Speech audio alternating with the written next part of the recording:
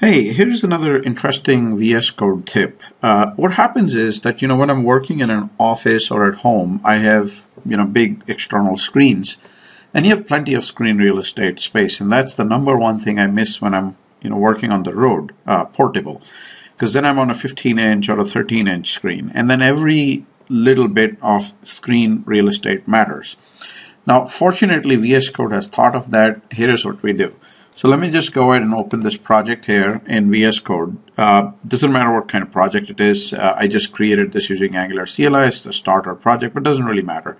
So a couple of interesting things you can do is you can hit F11 and that makes it full screen.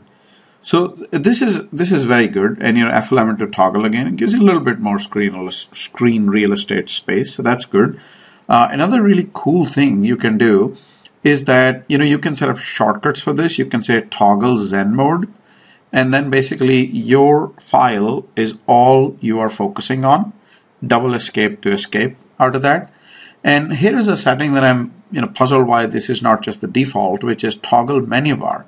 So the menu bar is still there, and as that message tells you, if I Alt, I can reveal that menu bar again. Similarly, one other thing you can do is that for those of us who have who are coming from the Visual Studio, we're used to seeing this tree on the right hand side. So what you can do is that you can say move sidebar to the right and you know it moves to the right. Personally I've gotten quite used to you know seeing it on left so I'll keep it on the left but you know personal preference but that's another thing you can do.